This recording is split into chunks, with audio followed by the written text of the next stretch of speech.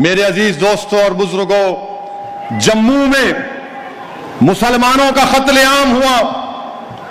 जम्मू में मुसलमानों का कत्लेआम हुआ। ला, लाखों की तादाद में मुसलमान जम्मू में मरे। उसका भी इकरार नहीं होता। आपको मालूम कि 62 में चीन से जंग हुई तो कलकत्ता में चीनी रहते थे, भारत के थे।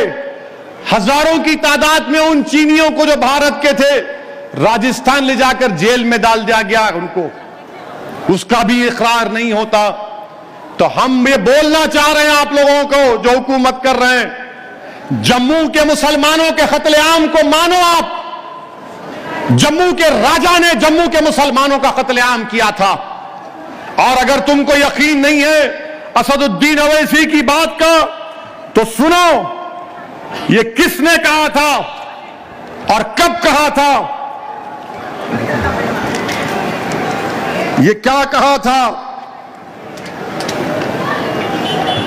कि महात्मा गांधी ने 27 नवंबर 1947 को गांधी ने कहा था? क्या कहा था गांधी ने?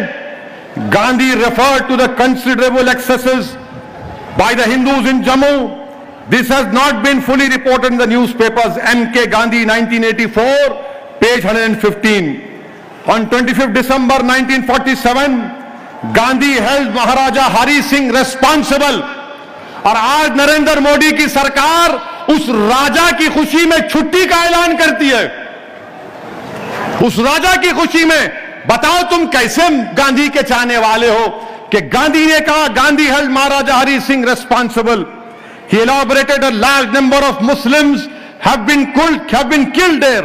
And Muslim women और गांधी ने कहा मुस्लिम खवातीन के बारे में have been dishonoured the Maharaja should clearly say that he is no longer the ruler it is the Muslims of Kashmir who are the real rulers and they may ये ये ये गांधी ने कहा था तो जिसने जम्मू में मुसलमानों का कतलेआम करवाया, उस राजा के लिए छुट्टी का ऐलान करती है, जिसको गांधी ने कहा था कि वो जिम्मेदार है, मगर उसका कोई ज़िक्र नहीं होता।